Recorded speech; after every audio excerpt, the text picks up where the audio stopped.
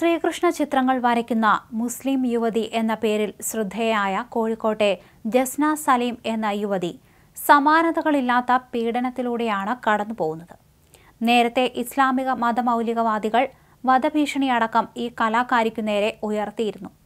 Jasna honey ട്രാപ്പുകാരിയാണെന്നാണ് ഇപ്പോൾ ഒരു വിഭാഗം സോഷ്യൽ മീഡിയയിൽ പ്രചരിപ്പിക്കുന്നത്.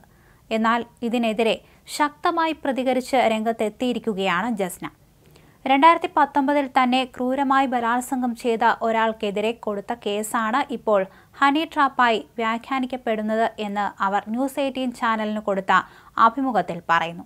തന്നെ ക്രൂരമായി ആക്രമിച്ച സൈക്കോ ഇപ്പോഴും സ്വതന്ത്രനായി നടക്കുകയാണെന്നും നിരവധി കുടുംബങ്ങൾ ഇയാൾ തകർത്തിട്ടുണ്ടെന്നും കേസിൽ പോലീസിന്റെ അനാസ്ഥയുണ്ടായി എന്നതടക്കമുള്ള അതിഗുരുതരമായ വെളിപ്പെടുത്തലാണ് ജസ്ന അഭിമുഖത്തിൽ പറഞ്ഞത്.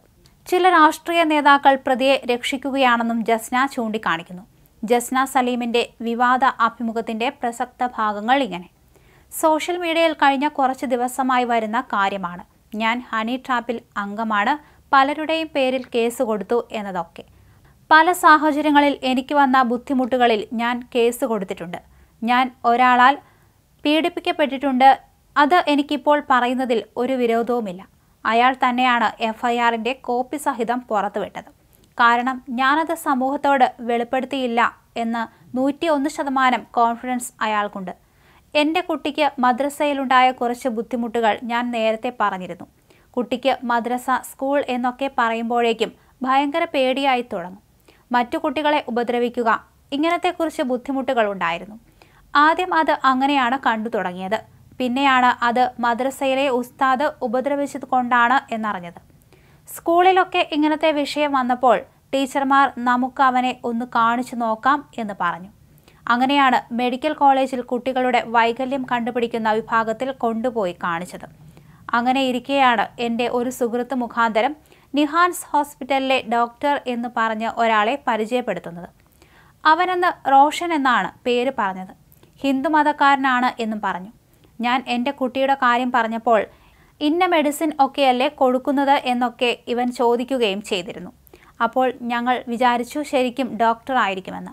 കുട്ടിയുടെ ഡീറ്റെയിൽസും കാര്യങ്ങളും ഒക്കെ കാണിച്ചു കൊടുത്തപ്പോൾ അവൻ എന്നോട് പറഞ്ഞു ഞാൻ വീട്ടിൽ കൺസൾട്ടിംഗ് നടത്തുന്നുണ്ട്. കുട്ടിയുടെ മുന്നിൽ വച്ച് കുട്ടിയുടെ കാര്യങ്ങൾ പറയാൻ പറ്റില്ല. നിങ്ങളായിട്ട് ശ്രദ്ധിക്കേണ്ട ചില കാര്യങ്ങളുണ്ട്. അതിനാൽ അത് പറയാനാണ്.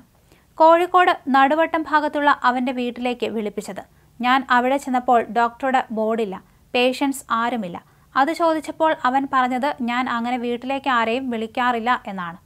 കാരണം മാനസിക രോഗത്തിന്റെ ഡോക്ടർ ആയതുകൊണ്ട് വീട്ടിൽ ആരെയെങ്കിലും കൊണ്ടുവന്ന് അവർ വയലന്റ് ആയാൽ പ്രശ്നമാണ്. ഞാനിത് സ്പെഷ്യൽ കേസ് ആയതുകൊണ്ടാണ് നിന്നെ വീട്ടിലേക്ക് വിളിച്ചത് എന്ന് പറഞ്ഞു. അവിടെ വെച്ച് ഞാൻ ക്രൂരമായി മർദ്ദിക്കപ്പെട്ടു. ഇവൻ അവകാശപ്പെട്ടത് ആ ദൃശ്യങ്ങളൊക്കെ മൊബൈലിൽ പകർത്തിയിട്ടുണ്ടെന്നാണ്. അത് പുറത്തുവിട്ട് എന്നെ അപമാനിക്കും എന്നായിരുന്നു അവൻ പറഞ്ഞത്. രണ്ടായിരത്തി പത്തൊമ്പതിലാണ് സംഭവം. ഞാൻ ഫാമിലിയുമായി അന്ന് വലിയ കണക്ഷനില്ല. ബാപ്പയും ഉമ്മയും ഉണ്ട് എന്നതല്ലാതെ. വേറെ ആരും അംഗീകരിച്ചിട്ടില്ല ഇപ്പോഴും അംഗീകരിച്ചിട്ടില്ല. അപ്പോൾ ഇവരൊക്കെ കരുതും ഞാൻ വരച്ചതിന്റെ പേരിലാണ് ഇങ്ങനെയൊക്കെ സംഭവിക്കുന്നത് എന്ന്.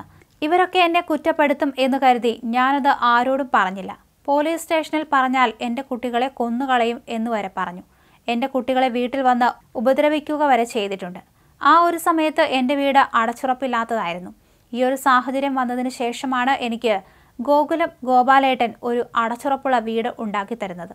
എന്റെ ഭർത്താവ് ആ സമയത്ത് ഗൾഫിലാണ് ഇപ്പോഴും ഗൾഫിലാണ്.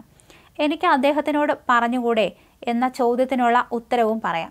വീട് വെച്ചത് ലോൺ എടുത്തിട്ടായിരുന്നു. അത് അടവ് തെറ്റി ജപ്തി നോട്ടീസ് വന്നപ്പോഴാണ് അദ്ദേഹം ഗൾഫിൽ പോകുന്നത്. ഞാനിത് പറയുകയാണെങ്കിൽ അദ്ദേഹം അതെല്ലാം നിർത്തി നാട്ടിലേക്ക് വരും. പിന്നെ വീടുമില്ല കുടുംബവുമില്ല. എന്ന് അറിയാവുന്നതുകൊണ്ടാണ് ഞാനത് അടക്കി പിടിച്ചു കഴിഞ്ഞത് ജസ്ന പറഞ്ഞു.